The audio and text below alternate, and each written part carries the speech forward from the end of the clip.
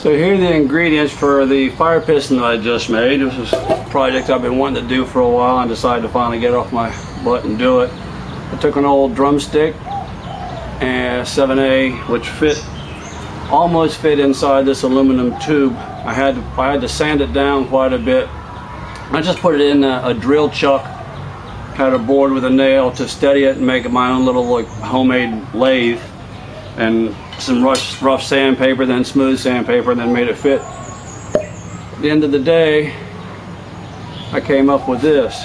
I put this big ball on the end because basically what I do, I see it's got an, it's got an O-ring. You want to have a really, really tight fit because this whole thing is working on the concept of, of high compression. High compression is what generates the heat. This is really the, the principle behind the diesel engine and stuff.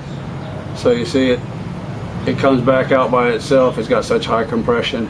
Okay, so I put this in on the ground. I used it, I put this big wooden ball in there so it wouldn't hurt my hand. And real fast and forcefully, you force it down and bottom it out. I have put um, some char cloth in here beforehand. And char cloth will catch and hold an ember really nicely. So that'll, that'll be a little glow. You can start blowing on that, create a little bit more oxygen to the ember, transfer that ember to another bigger cloth into your tinder, blow it into a fire, quite easy. Nice little, and for lube I've got some uh, some silicone, proper silicone lubricant instead of Vaseline, which is better on the on the O-ring, should last a long time. And this costs nothing anyway. All right, the char cloth I'm talking about, if you're not familiar with char cloth, I sacrificed and bought some expensive German candy because I wanted something a little bit bigger than an Altoid tin, which would work fine. This candy was good.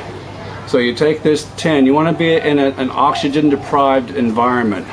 So you do cut a little, poke a little hole, I drilled a little hole right in the middle of this, and you just cut up some old cotton of something organic. You don't want to have anything, any, anything synthetic some kind of organic like cotton. In this case, I use old cotton underwear. And you put it on a fire, put, it, put the bits of cloth in here, put it on a fire, you'll see smoke coming out. When the smoke finishes, it's pretty much done, it's cooked.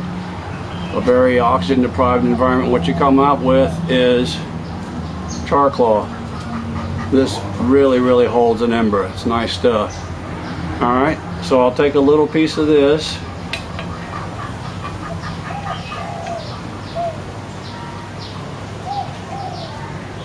You can tell it's ready when it breaks off really easy. It's quite brittle. It breaks off easily.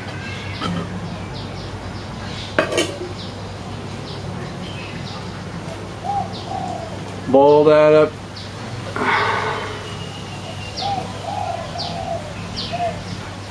Stick it in the end of my uh, piston. Get in there. Alright, now we're ready to go. Stick this in here. All right, here we go. For my tinder ball, I've taken some uh, mostly bamboo stuff from a from a bird's nest. Take some some kapok, a natural cottony stuff that's used for pillows and mattresses and stuff in the old days, and uh, for life preservers because it doesn't absorb water, so it, it helps float. So I put that in there.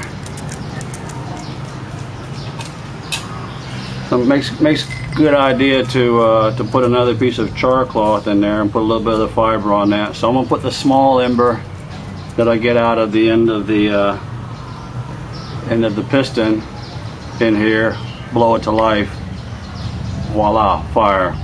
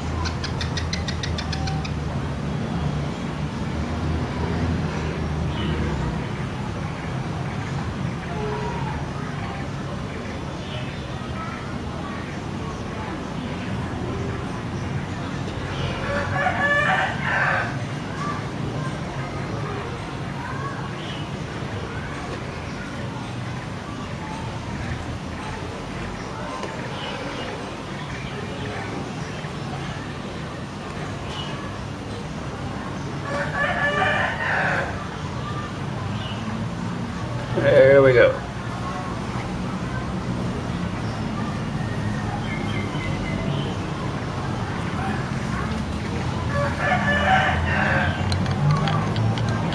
Well, not quite as easy as a lighter or a match, lighter or a match, but works.